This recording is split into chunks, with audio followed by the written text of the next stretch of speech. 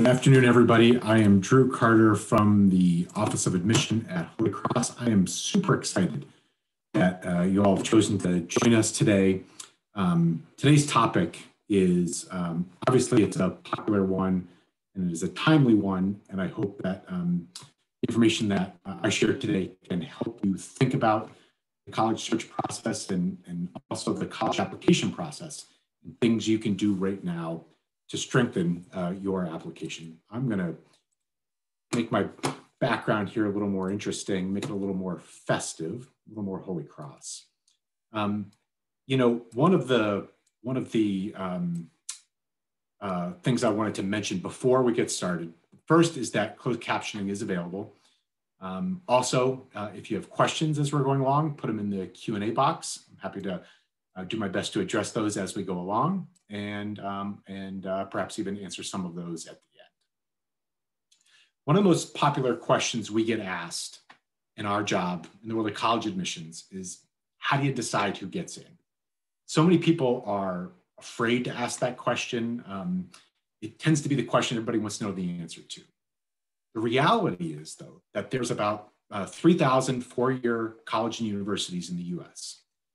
Every single year, all of us in the world of college admissions we all weigh the same exact factors when we make decisions uh, on applications. And you know what those factors are. And if you took the time, you could make a list um, of the factors that every school looks at when they make decisions on application. There might be, you know, 15, 20, 30 factors on that list that schools will look at. Um, today, we want to focus on uh, really five of them. Um, and, um, you know, the, while you could make a list of all of these factors, whether it's 15, 20, or 30 factors, the reality is, is that be, just because each factor holds one place on the list, that does not mean that all the factors hold the same weight in the decision.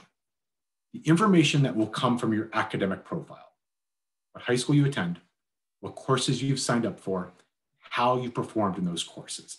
That information, that is the, the cake everything else on that list is, is just frosting. But let's talk about your kid. Let's talk about your academic profile. Let's talk about your transcript. On average, when a college admissions office looks at a high school student's transcript, on average, they're looking, going to look at three and a quarter years. Some schools look at three years, some schools look at three and a half years. I'm going to split the difference and say three and a quarter years. Freshman year, sophomore year, junior year, senior fall. Now, I'm assuming all of you are high school juniors, which means freshman year, sophomore year, and half of junior year is done. It is behind you. As my dad would say, the hay is in the barn. And as we would reply, we don't know what that means. We don't have a barn, nor do we have any hay. But what he really meant was, uh, I think in New England, we would say that ship has sailed, right? So you have a disappointing grade on your transcript from chemistry sophomore year or Spanish freshman year, you have to let that that grade matters to us when we evaluate your transcript, but it no longer matters to you because what you need to do, the first of five ways you can um, increase your chances for acceptance, the way, first of five ways you can improve, you can impact your college application is to number one, focus on the road ahead.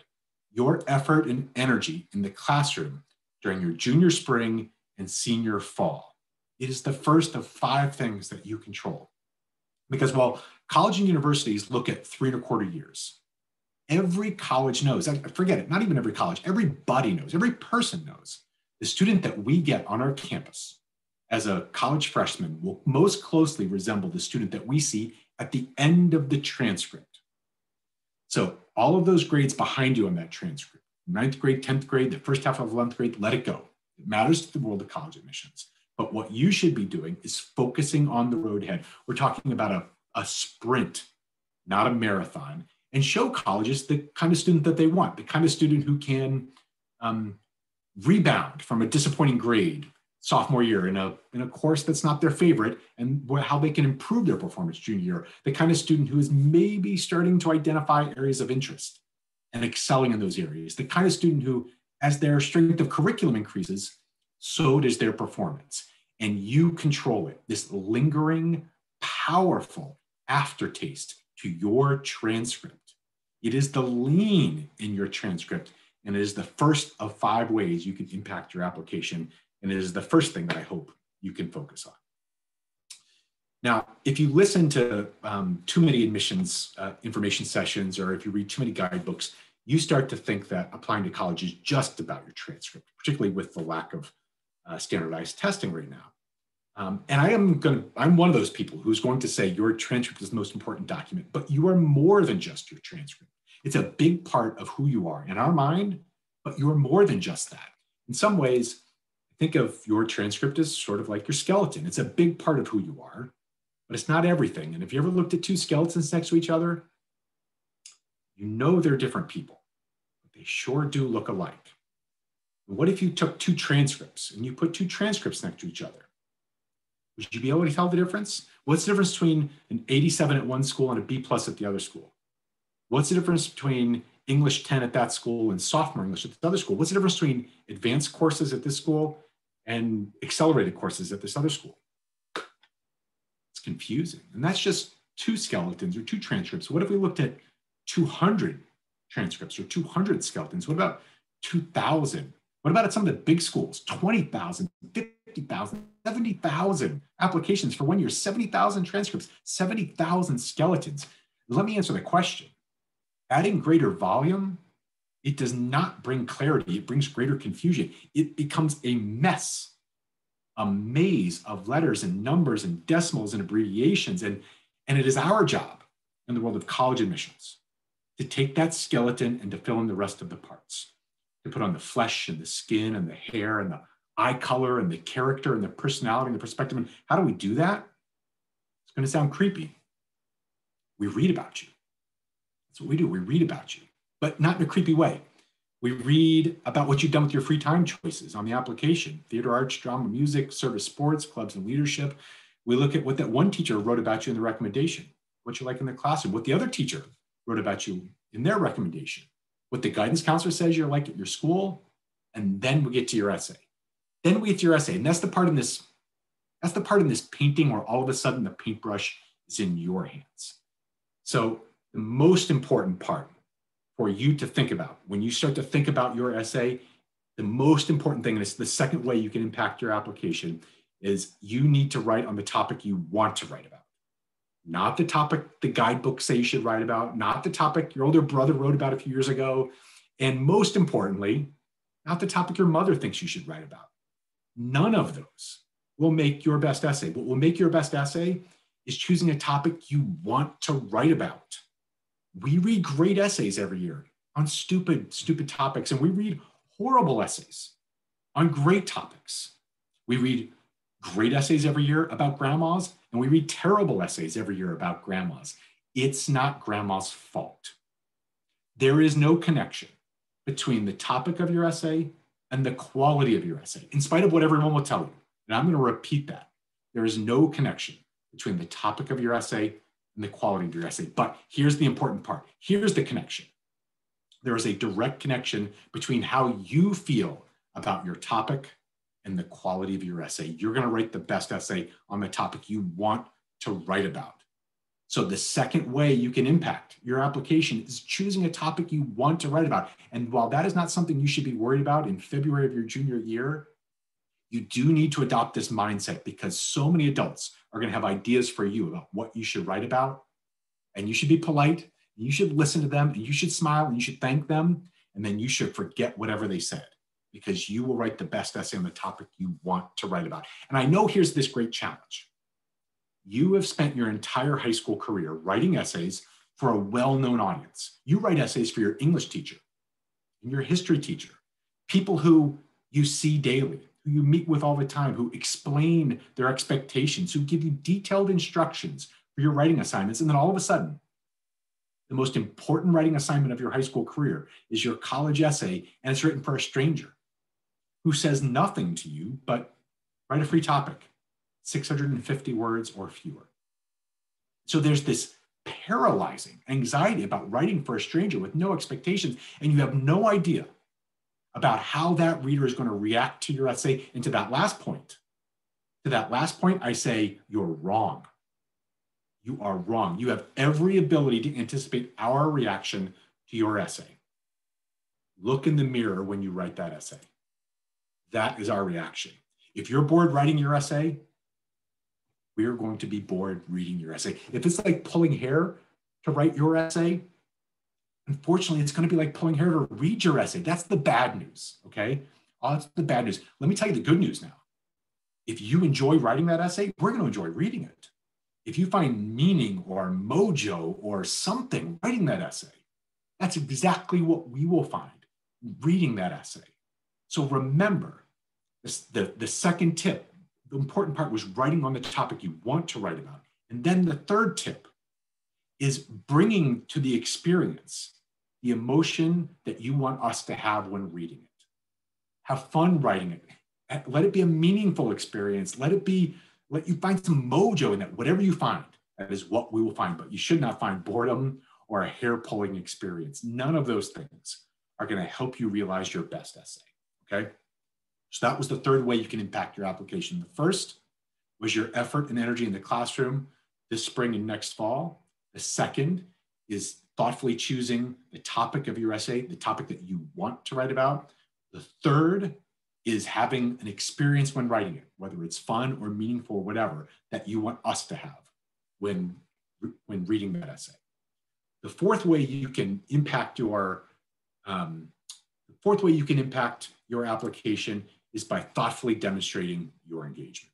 Okay, there's lots of ways you can do it. And I want to say to you, especially even now during the pandemic, you can do that easier than before. You can attend, geez, a virtual session on a Friday during February vacation about uh, five ways to improve your application. You can go to virtual tours and information sessions and email correspondence and online chats. And if in person um, activities become available, you can do those as well. Um, interviews, I want to say a word about interviews. There are obstacles to having interviews, and most of them are needless. Most students are turned off by um, the opportunity to interview because uh, they're confused um, by all the different policies that colleges have. But the reality is, is that if a school offers interviews, they make their policies readily available on their website, and they're going to email you about their policies. And they're going to email you about their policies several times. So this idea that it's so confusing, some schools offer interviews, some schools don't, that should not be an obstacle, which leaves just one remaining obstacle to you having an interview when you apply to college, and that's urban legend. It's the trick questions you think you might be asked, right? If you were a tree, what kind of tree would you be? If you were a fruit or vegetable, what kind of fruit or vegetable would you be? And none of these questions exist. They've all been, all been posted on the internet by your older siblings just to freak you out. Okay. Um, the proof is I interviewed a student several years ago from my hometown, Louisville, Kentucky, and I felt this sort of kinship uh, interviewing someone from my hometown. And for the first five minutes of our conversation, she reminded me so much of young women from Louisville. Um, and she had her hands folded on her lap, except that they weren't folded successfully because they were shaking too bad. It was obvious to me that, that she was nervous. And because I felt this kinship, because we're both from Louisville, I asked her, I said, you know, were you nervous to come to campus today? And um, this was several years ago. And she, I still remember her response. And she said, Yeah, just for the interview. I said, Okay, let's unpack that a little bit. What about the idea of an interview made you so nervous? And she said, Well, I just did a practice interview with my guidance counselor. Okay, I said, I think your counselor probably um, did that practice interview with you to, to help you get more relaxed. She said, Well, we couldn't think of what kind of questions you were going to ask. So we looked online and we found out what your first question is, but neither of us could think of a good answer. Now, I never know what my first question is, but this young woman and her counselor had gone onto this message board, and I'm not going to name the message board because I don't want you ever to look at it because it is 100% wrong 100% of the time. But they had gone on this message board and they found out that Drew Carter at Holy Cross asks this as his first question in an interview. I'll play the role of me. You play the role of the student and think of what your answer would be. This is how she thought the interview would start. I would say, Welcome to Holy Cross. I'm so glad you're here. Uh, welcome to my office. As you can see on my desk, there's a box. And I know you can't see what's in the box, but let me assure you, there are several things. And one of those things is identical to you. What do you think that thing is? This is an insane question. It is a ridiculous question, a question I've never heard of before, a question I would ever ask. Never, no one would ever ask that question. You will not be asked any questions an admissions interview that you don't already know the answer to because the questions are about you. And not just about you, because I guess the box question was about her. The questions are about the things you talk about every single day your friends and your family, your high school and your hometown, your clubs and your classes, your hopes for college, your dreams for college, your questions about college. This is literally the dialogue you're having every single day. You can have that dialogue with an admissions counselor. It will help you get into college and it will help you learn about college. There are no obstacles to having an interview when you apply to college. Figure out what the school's policies are, whether they offer them or not. And if they do offer them, make sure that you sign up for that interview and you will know that you'll be prepared for all the questions you're going to be asked because all of the questions are about the things you talk about every day. Thoughtfully demonstrating your interest and engagement to the schools to which you're researching now is going to help you learn about yourself. It's going to help you learn about the variety of college experiences out there. And at the same time, at some of those schools, it may add this idea of demonstrated engagement to your application. It is always in your best interest to thoughtfully engage in the search process. Most importantly, because you learn about yourself, but additionally, because it is one of five things you control. Your first was your effort in the classroom. The second was the topic of your essay. The third was the mindset you bring to writing that essay. The fourth was how you demonstrate your engagement to all the schools to which you apply. The fifth and final um, topic that I'm going to cover today is how you engage with your teachers right now. I think sometimes high school students think like the recommendations that are sent with their application, they just like appear out of nowhere. They have no idea. They can't imagine what's in those recommendations. And I say the truth is, right now, during the second half of your junior year, you are giving your teachers the content for their recommendations that they're going to write. If you plan on asking a junior year teacher for a recommendation, how they observe you during the second half of your junior year will appear in your recommendations. So, the fifth way you can impact your application is this think about what you want your recommendations to say about you. Do you want them to say you're hardworking? You want them to say you're thoughtful and perceptive? Think about what you want them to say and then show those qualities to your teacher. Demonstrate, give them the material right? Feed them the content. These recommendations are filled with observations, anecdotes, and adjectives. Give them the content that you want to see in your recommendations. Trust me when I say the second half of junior year is what we read about in recommendations from teachers who wrote, who taught these students during their junior year.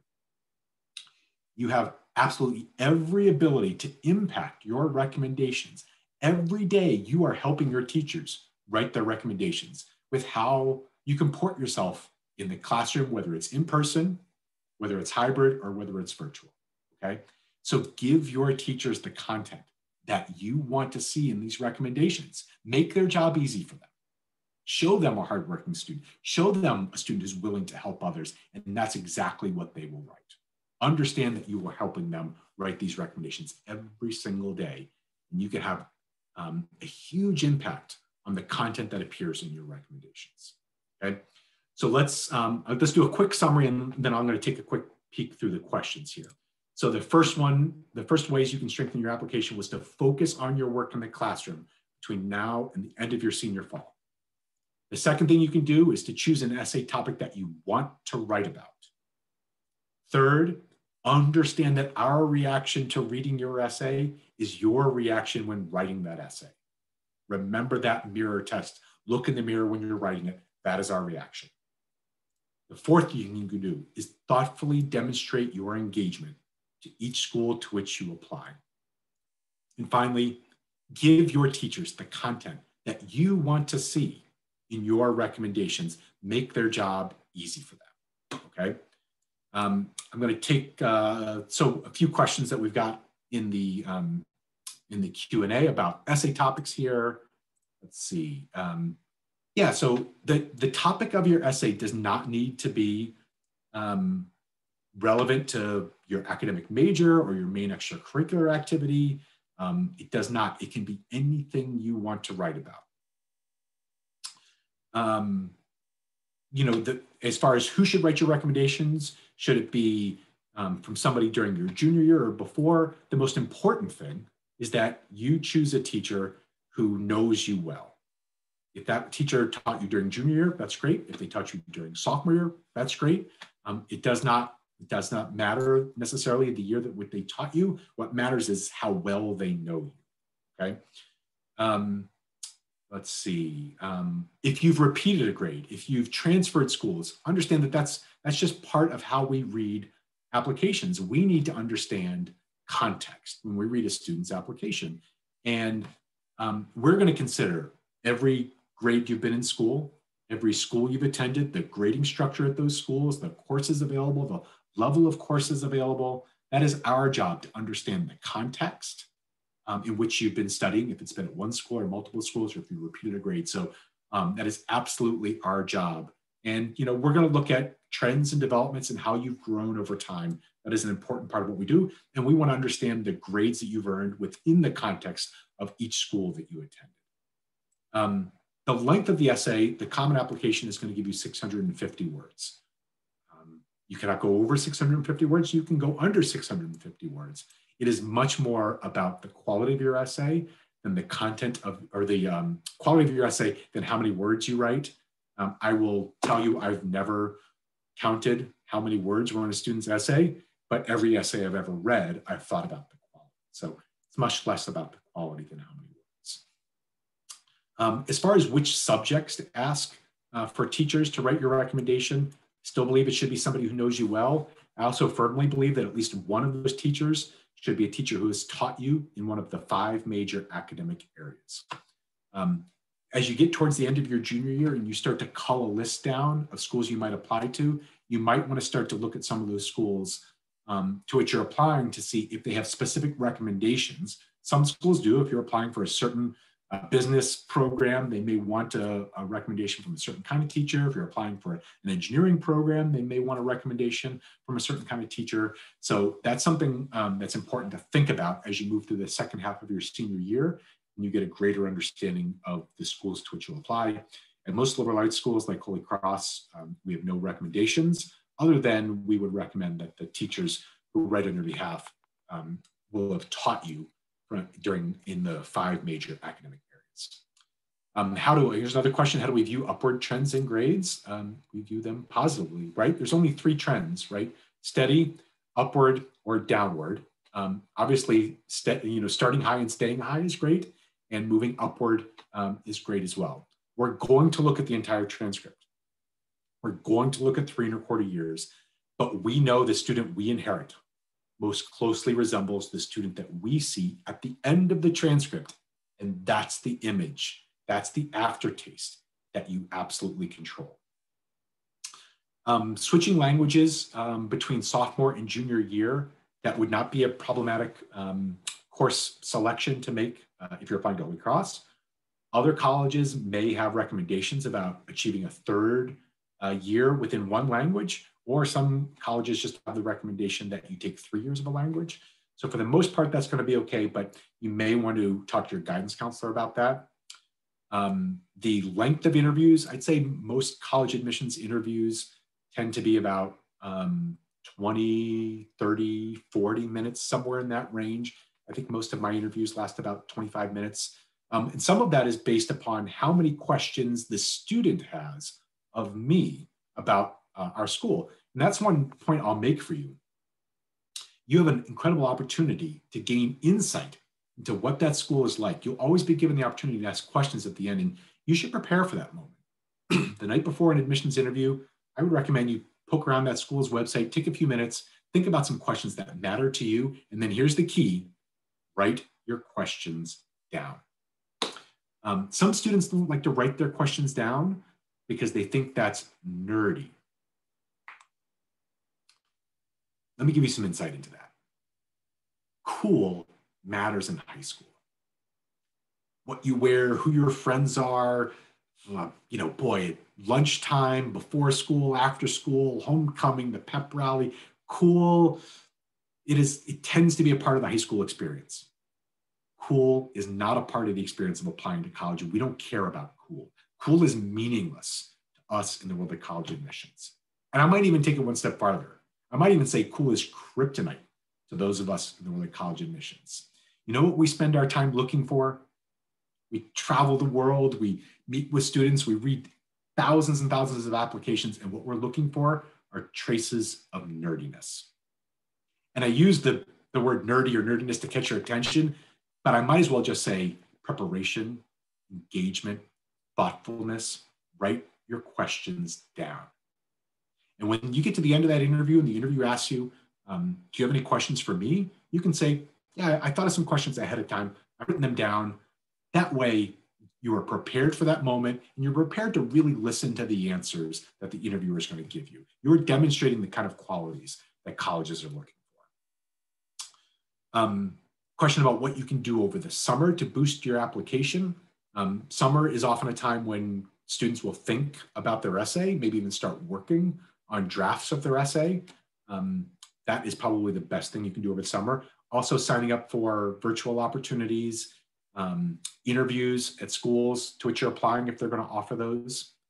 Um, is there a limit to how many teacher recommendations uh, you can submit for a student? Um, oh, sorry, is there a limit to how many teachers write recommendations for a student? Um, the com- it depends on the school. Some schools um, require a certain number. Um, most students will submit beyond the required number. I would not submit more than I would not submit more than three. Um, you want to make sure that the time on your application is well spent um, and um, understand that you don't want to overload that application with too many recommendations. So I would not go beyond. Um, are there top taboo topics in essays? Um, the one thing I would think about as far as topics, and I, and I did say, and I said forcefully, you can write on any topic that you want to write about. Um, I would recommend using the grandparent test though. And here's the grandparent test. Um, can you hand your essay or read aloud your essay to your grandparents? Um, if you feel like it's an appropriate essay for your grandparents, then it's a fine essay to submit to college. If you feel like it may not be an appropriate essay for your grandparents, you may want to have, there may be second thoughts about submitting that essay. Um, I don't believe uh, there are lots of sayings about you shouldn't write essays about dating, death, or divorce. Um, I don't believe any of that. I don't think, I, some people say you shouldn't write essays about sports or sports injuries. I don't believe that. I think it is possible to write a great essay on any topic. Um, I will say, though, that sometimes students pick really big themes for their essay. And 650 words is not a lot of words to write about a really big theme. And you can still pick that theme as your topic, but if you pick a really big theme, your parents' divorce, or moving across the country, or something like that, you may just want to choose a small moment within that theme so that you can accomplish all that you want to accomplish in 650 words. Um, let me scan through more questions here. What do we look for in extracurricular activities for an applicant? the reality is, is that um, we look through extracurriculars to learn about who the student is, to learn about the choices that they've made, to learn about the kind of person that they might be. We don't give value to some activities over another. We don't think student government is better than a part-time job.